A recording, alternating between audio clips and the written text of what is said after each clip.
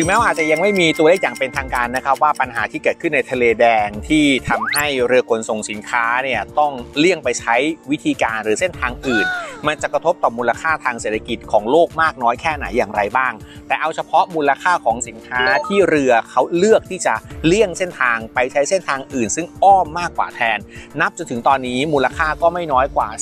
35,000 ล้านดอลลาร์สหรัฐเข้าไปแล้วนะครับนี่เป็นตัวเลขที่มีการคาดการณ์กันออกมา เพราะว่าเรือสินค้าจำนวนมากเลือกที่จะยอมครับ อ้อมไปเส้นทางอื่นถึงแม้ว่าเส้นทางที่ผ่านทะเลแดง มันจะใช้ระยะทางที่สั้นกว่า แล้วต้นทุนต่างๆ ในการขนส่งไม่ว่าจะเป็นน้ำมันหรืออื่น ๆ มันจะถูกกว่าก็ตามทีครับ เหตุผลส่วนหนึ่งก็เพราะว่านับตั้งแต่เกิดปัญหาระหว่างอิสราเอลกับฮามาสตั้งแต่ตุลาคมที่ผ่านมา